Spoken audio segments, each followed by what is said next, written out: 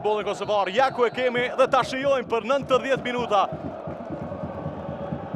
Shohim statistikisht është lojtari që ka bërë më së shumti pasime të gjata në Superligë. Gripshi me këtë pasim mjaft mirë, Korenica 1-0!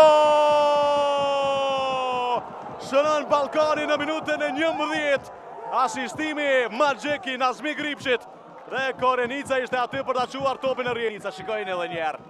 mesin e dy lojtarëve të Dritës hyri Korenica, pasimi pa shikuar fare ishte i Gripshit, no look pass i quhet në anglisht, ishte fenomenal.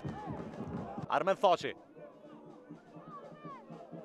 Rrahmani sa mirë e kthen te Korenica, çfarë ka humbur tani ai, e pabesueshme, i vetmuar ishte me portierin Smakiqi, më lehtë ishte kësaj radhe të realizonte, super pasim ishte i Albion Rrahmanit, nuk pati pozitë jashtë loje, Dhe ishte i sigurt, Korenica që do të shënonte këtu, por e pa topin duke... Raddy Ovouka sa mirë, pasimi, mundësia për Jasharin, një me një! Barazon Drita, aksioni më i mirë në këtë pjesë të parë nga Intelektualët dhe janë në trans tani ata. Shpesh luajti nga i krahu i majtë Drita dhe tentoi të thyente mbrojtjen, ja ku ia arriti qëllimit në këtë moment.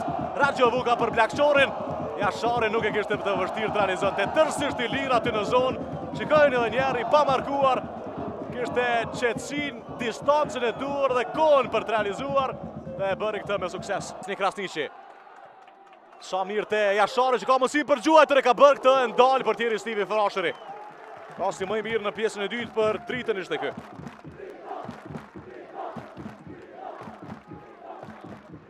Ndër mundësitë e rralla që erdhën për Dritën për të ekzekutuar goditje nga jashtë 16 metërshit. Ndeshën më të rëndësishme të sezonit, pa dyshim për Ballkanin. Harkimi i Thaqit, goditja me kokë 2 me 1! Lumbardh Dellova realizon për Ballkanin. Minuta e 85, diti topin. Shikojeni edhe një herë ngulitet në një farë forme Lumbardh Dellova për të realizuar një me dy. Me shpejtësinë e plumbit, shkoi ai top në rrjetë. Dhe Ballkani është edhe...